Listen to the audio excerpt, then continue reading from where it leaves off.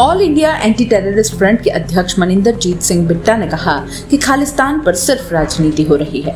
अव्वल तो कभी खालिस्तान बनेगा नहीं, और अगर ऐसी नौबत आई भी तो उसके लिए हमारे जैसे देशभक्तों की लाश पर से गुजरना होगा।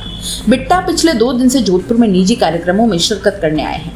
यहाँ पत्रकारों से बातचीत में उन्होंने ये बात कही। उन्होंने कहा कि पूरा सिख समाज एकजुट हो, गुरुद्वारा साहिब संगत एकत्रित कर ले और कहे, हमें खालिस्तान नहीं चाहिए। इसके बाद आप देखिए, ये आंदोलन पूरी तरह से खत्म हो जाएगा। उन्होंने कहा, हमें पाकिस्तान से नहीं मिलना। ये देश के दुश्मन है, जिनकी गलतियों से उन्नीस सौ चौरासी में दंगे हुए और ऑपरेशन ब्लू स्टार हुआ।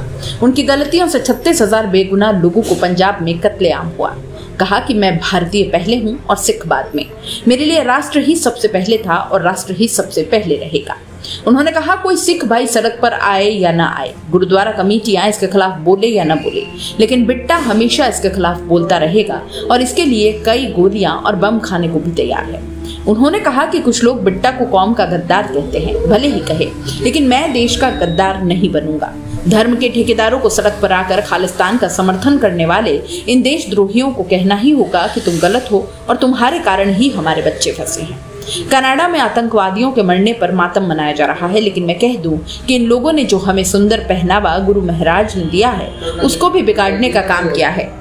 सरदार बनाना है तो जगजीत सिंह अरोड़ा और एयर मार्शल अर्जन सिंह जैसे बनो, जो राष्ट्र के लिए सेवा कर रहे थे।